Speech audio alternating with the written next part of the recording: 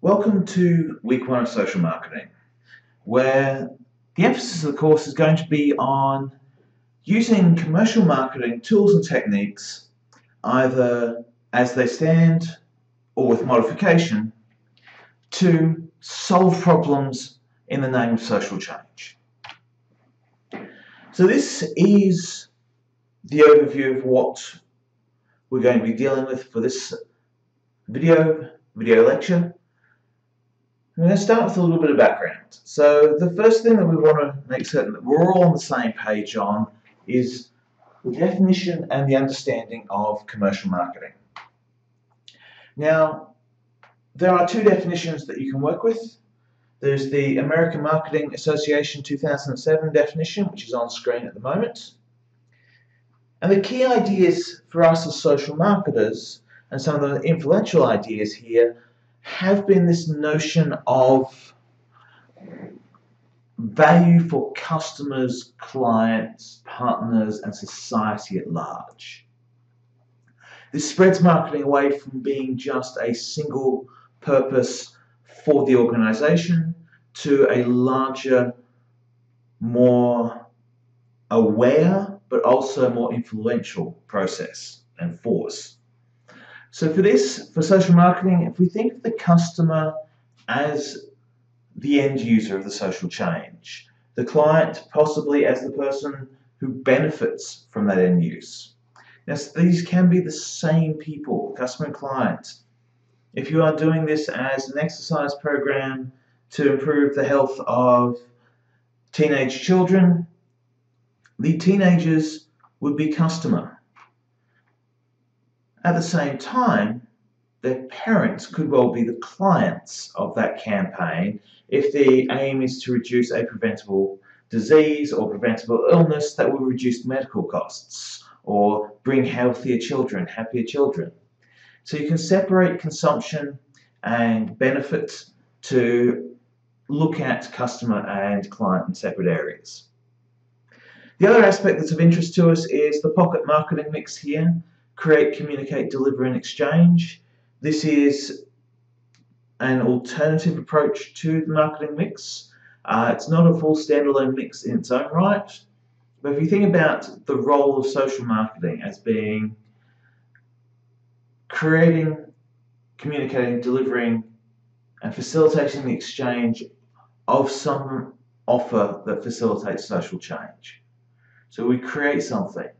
We make something, a behavior, an idea, or a physical good, or a service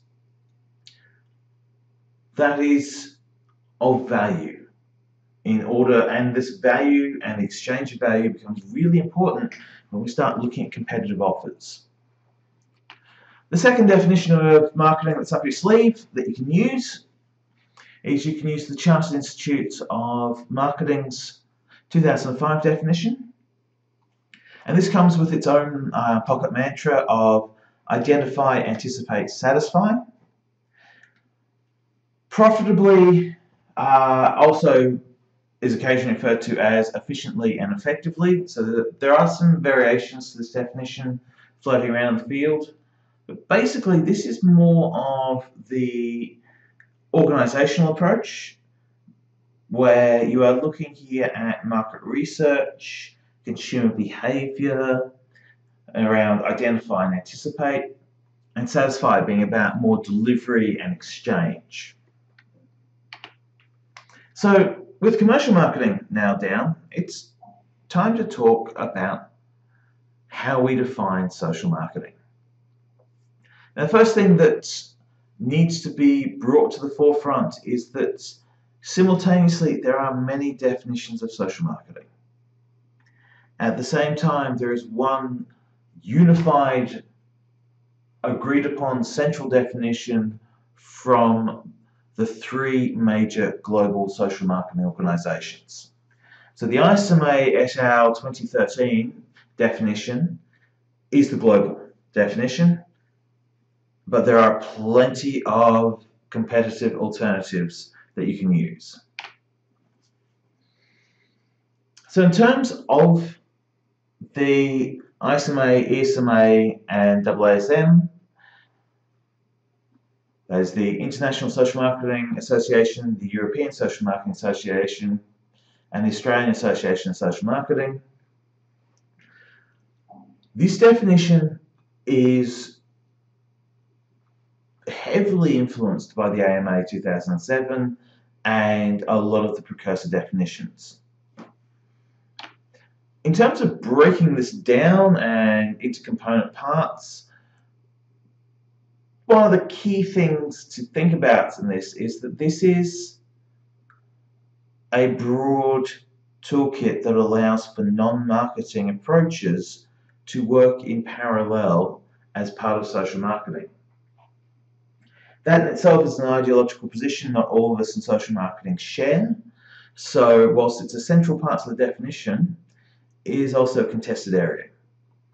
It is behavioural and the behavioural focus is on the benefit to individuals and community. There is the idea of it being for a greater good, and greater social good is a contested field and a contested definition. And it's also guided by ethical principles. Research, best practice, theory, audience and partnership insight. And it's those midpoints, research, best practice and theory that drive this subject. Social marketing has a very strong theoretical base, a very strong use of theory in practice. Many social marketing reports that are written by organizations and by practitioners come with reference lists and bibliographies because theory is integral to the way in which we address the world. So when I ask you use citations, I ask you use references, what I'm saying to you is engage in industry standard practice. Now, a couple of the other definitions that are out in operation, uh, one of them is mine. It is the former official definition from the AASM, and from 2010 to 2013, I was the my definition was the definition of social marketing in Australia. Inside my definition, one of the things I do is I do sub-component, subcategory definitions. And this in itself is about clarity and clarification. So when occasionally I will talk to you about you know, specify your terms or when you use a phrase give a definition to it, give a reference to that definition. That is because if we are not sharing a common language, we're not going to agree, even if we're using the same words, it won't be the same practice. And just briefly to look at a couple of the footnotes. One of the footnotes that's in here is the idea of having to actually specify induce versus influence so on this, I talk about social marketing as a means to induce behavioral change. The sub-definition influence comes with a note to the fact that social marketing must have an outcome under my definition.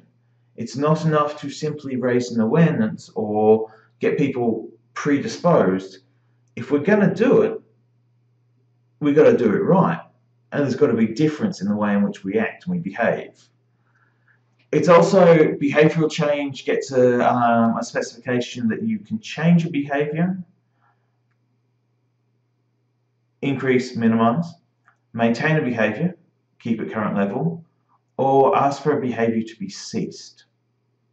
Do more, do less, do the same, stop doing it at all.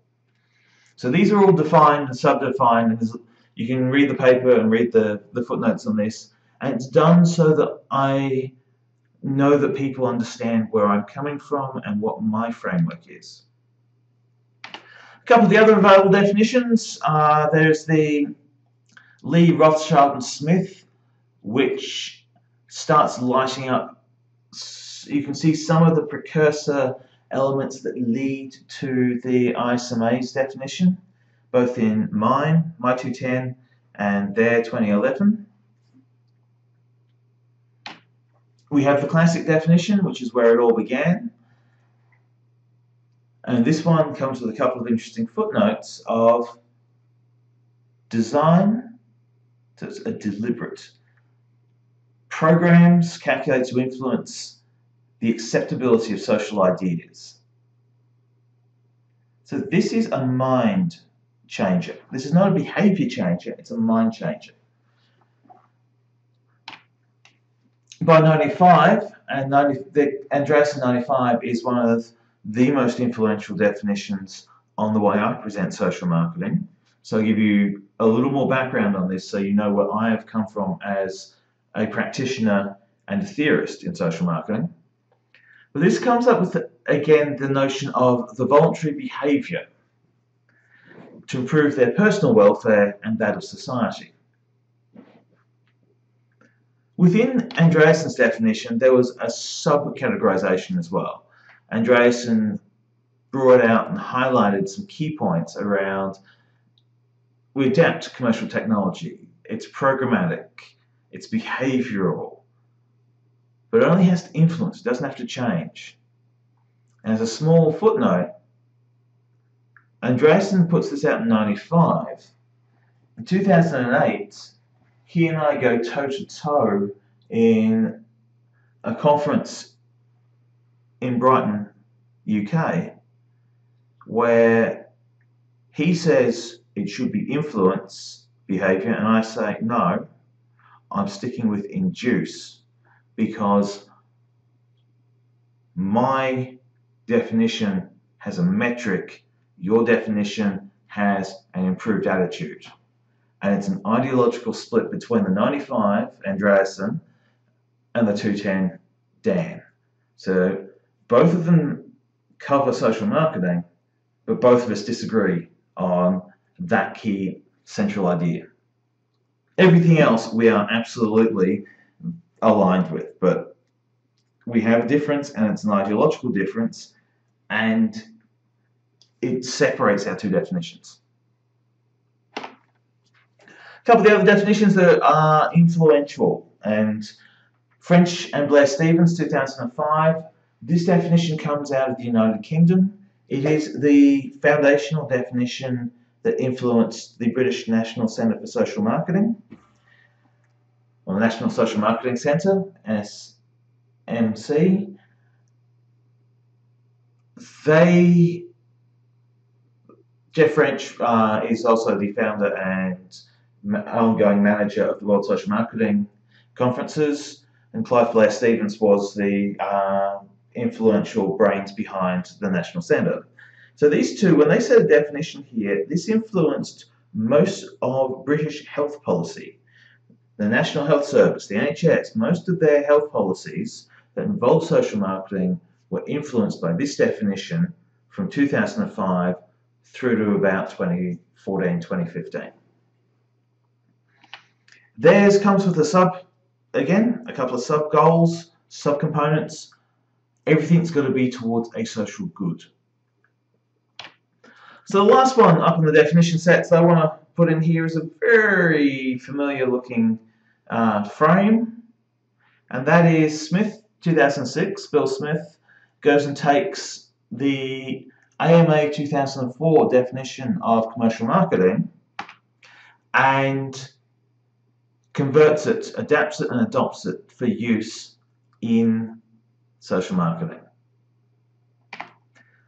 Now the important things here are what you do with your social marketing definition, why you need to care. The top of the list is that each definition influences the way in which you can operate as a social marketer. So there are there is a book of definitions. There's a book of social marketing definitions. Run through runs up to about 210.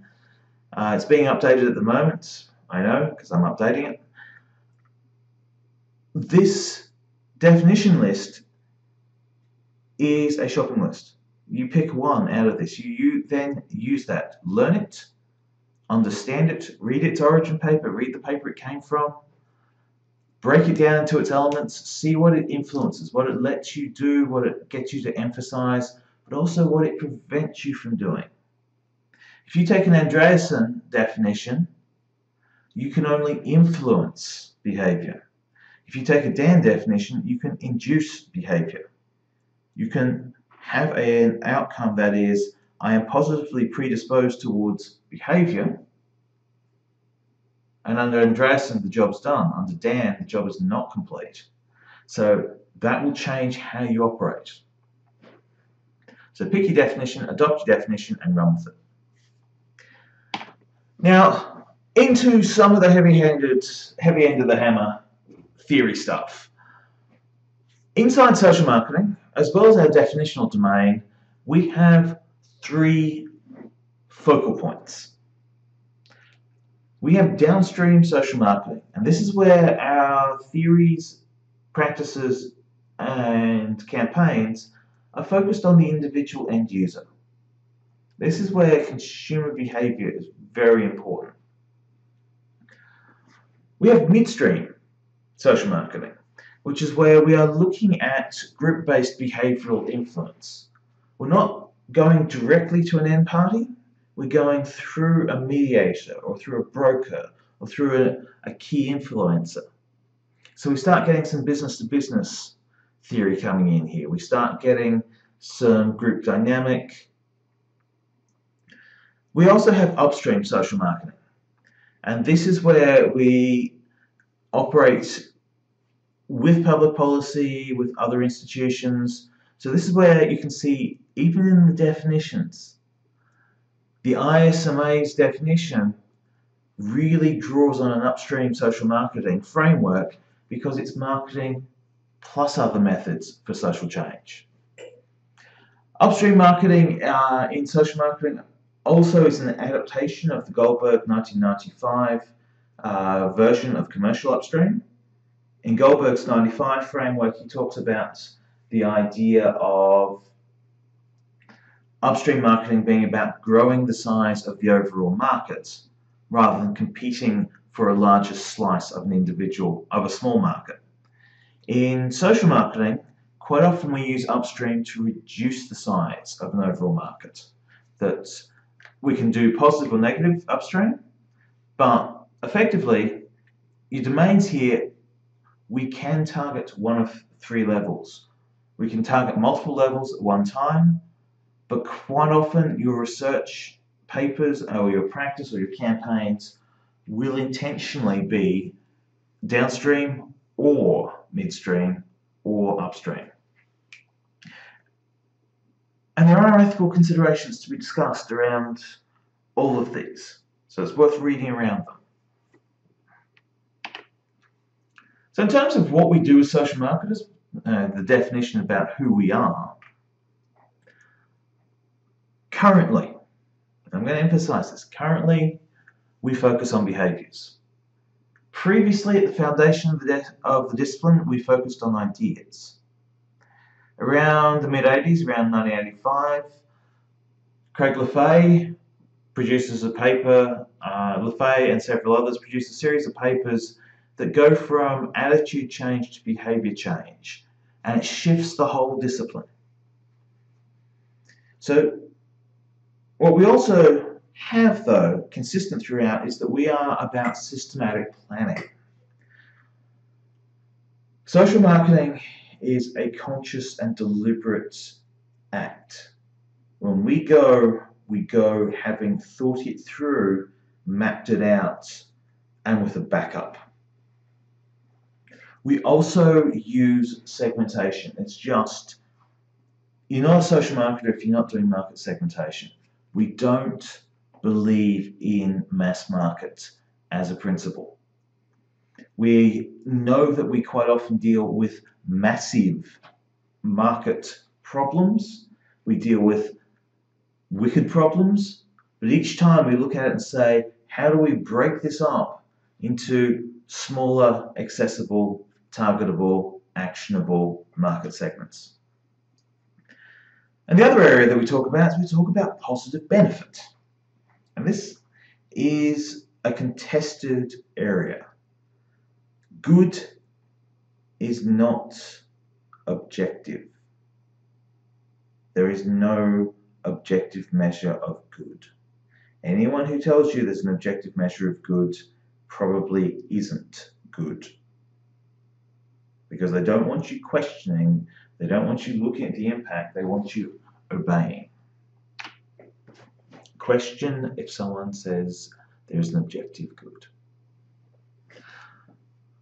Alright, what we do in terms of focus on behaviors. These are the outcomes we're looking for. So as marketers, as commercial marketers, usually our outcomes are along the lines of buy a product, consumer product. Consumer product in a new, different way that means you have to buy more copies of that product. Here, for us, here's some other theory. Here's some other frameworks. What we want to be able to do is pick, if we're going to focus on a behavioral-led definition, you want to pick one of these behaviors as an outcome or sequence them as an outcome. For example, if you want to get someone to give up smoking and instead of smoking, if they feel the need to smoke, to chew gum, you pretty much got everything on that list. You want them to abandon an undesirable behavior, the smoking. You want them to accept a new behavior, chewing the gum. And really, somewhere between switch between behaviors. Give up smoking, take up gum, switch over between the two, and eventually you want them to abandon the gum. So you get to use multiples, but at any given point, for not just simplicity, but for effectiveness, for ethics, for ethical effectiveness, focus on one of these. You can have a sub-priority, but focus on one behavioral change. In terms of what we do and why it's different from our mates over in commercial marketing, commerce is easy. Commercial marketing's great. We only care about your wallet. We get your money, we go home. We're done. Social marketing, we're after your mind. We're after your behavior. We're after how you think, how you perceive the world, how you interact with the world. Commerce wants the money, we want your mind and your behavior. All actions are predicated on some form of cognitive, emotive, or automated decision process. So we assume that if we can get you to think, we can get you to behave. Now the other areas that we run into is market selection in social marketing quite often is problematic to the nth degree because we quite often will address the least responsive market because they're the market with the greatest perceived need. We also do a lot of decisions that are based around what is politically expedient or politically valuable for our funding agents and our overlords. If the government, if you're working for a government campaign, you can have the best laid out campaign of all time, and if the minister comes in and goes, no, I want you to target, and they name another audience, you, you are targeting that audience. That's how it goes. In the same way that if the CEO walks in and says, that's a lovely product you're making there, I don't want to deal with that market, make something different, the CEO gets that say. It's just we tend to have more political things happen.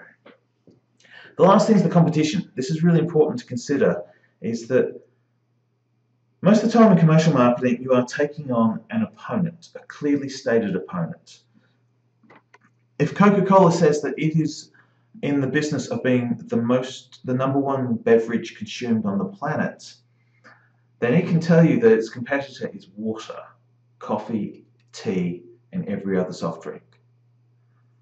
Whereas over in social marketing, quite often our competitor is the current behavior someone's doing.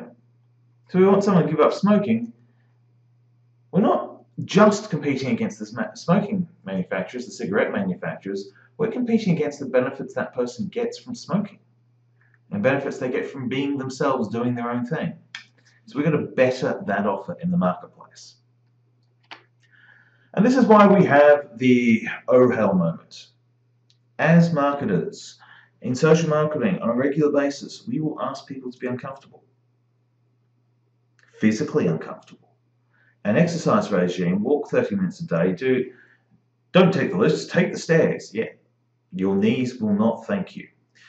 Eventually, they will thank you, but in that first instance, we want you to be uncomfortable. We want you to be awkward. We want you to feel nervous. We want you to respond to people, to be the social, to particularly where we're getting you to lead off in a social campaign. We're going to ask you to be socially awkward by not doing the thing all your peers are doing. We want you to reduce pleasure. Most of the hedonic consumption patterns do not sit in our radar of things we want people to do. Occasionally, social marketing is affectionately referred to as the prevention of sex, drugs, and rock and roll. And I say affectionately because we're the ones, as social marketers, who tend to call it that. We also want you to spend more time, because time's a thing we all have, right? But in spending more time, we also, because we want you to do things like prepare meals rather than buy meals. That's spending time. We want you to walk for 30 minutes which is also the topping and tailing 15 minutes either side. So the hour we get you to spend to do half an hour of activity. We want you to resist peer pressure, except where we want you to adhere to peer pressure. So we tell you both, be your own person. Winners don't do drugs. Stand on your own. Also, the entire societal norm says don't do this. We want you to hear bad news. Social marketers rarely roll in with good news the day we get to go and announce that bacon cures cancer is the best day ever. Except for if you happen to be Jewish, in which case it's an absolutely rubbish day if you're Jewish or uh, Muslim because a kosher or halal food that cures cancer is absolute rubbish and bad news all around. So it's not even a good day when it's a good day. We also ask you to risk relationships, peers, friends, family, if we're going to get you to change your behavior and that behavior is popular in your community, we're going to make you an outcast. And we're going to hope that you bring the rest of your community with you. We also get you to give up leisure time. We get you to give up looking good. Nobody looks attractive at certain points in any given exercise campaign or regime. But also there is a point in time when we are actually honestly looking at the situation going, yeah, it's not going to be pretty. Lastly, as well as all of this, we ask you to learn new skills. And quite often we don't train you with those new skills. And yet, we succeed. So here's how it works. Customer orientation is key. We win these street battles against superior funded opponents because if we go to the audience and listen, we can make a better offer. And that better offer is exchange theory. You give us something, you give us the adherence to the campaign, the behavior, we give you something back. We're driven by market research. Particularly, secondary market data is widespread and accessible for the audiences we want to attack.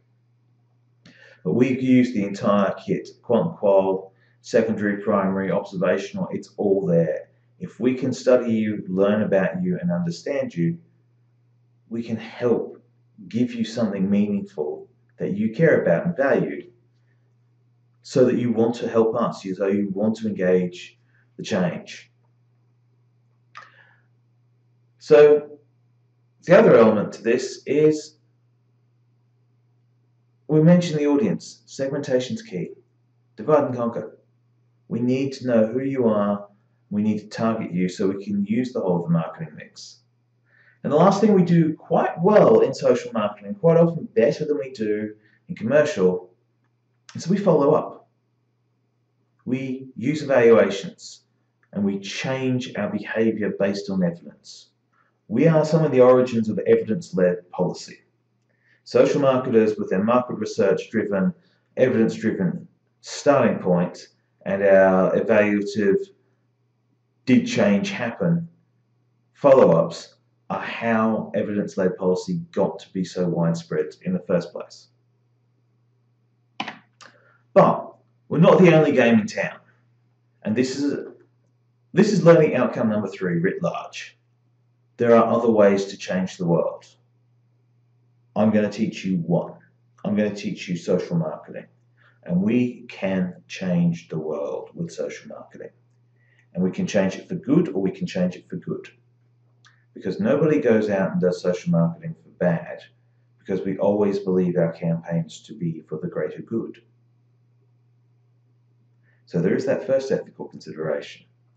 But there are other means and mechanisms, and it's very important that you consider these. Sometimes the best way to solve a problem is to just throw science at it. Upgrades with technology, bring laws in to prohibit, bring economics in to price things out, bring taxes in to make it unpalatable, change the infrastructure. If you ban cars, then you're not going to have people driving into each other in those areas. If you rebuild the infrastructure so paths are well lit, wide and accessible, that there are frequent points where people can rest, people will train in those areas. They will gain fitness in those areas. So there's all these ways you can modify the world that isn't marketing. We are one tool. So this is where the question comes down, the marketing dialogue. When is it social marketing? When does it need to be social marketing? And this is also going to be an important facet for you, is that once you walk out of this camp, walk out of this course, and you start running these campaigns, you will have people going, oh, I'm a social marketer. Now we do advertising, and that's it. And you sit there going, but where is your product offer? What is your price? How's your distribution? So this is a philosophical one. It's not even resolved inside the academy as to when is it marketing, when is it not marketing. For me, though, these are the critical things. You've got to have the whole mix in there. You've got to have thought, price. You must have thought, product, distribution, all these things. So you need this, you need these components. And a communications only campaign can only count if you are communicating an idea product, and even then you ask the question, if it's an idea product, isn't it actually a product? So this is week one, round one, concept framework one. The biggest thing about this is that this opens up, it's not just take the red pill, take the blue pill, how big's this rabbit hole? This is Welcome to a field of rabbit holes. There's a lot of them. But what you need to walk out of this with is knowing I've got a definition, I've got a framework, and I've got a starting point. So as always, connect with me on any of the channels, Twitter, even Instagram, through the email. Come see me if you've got a question on this. But welcome to social marketing. It's big, it's robust, it's full of ideological differences, but it's real, it works, and it makes a difference. So welcome aboard. It's going to be fun.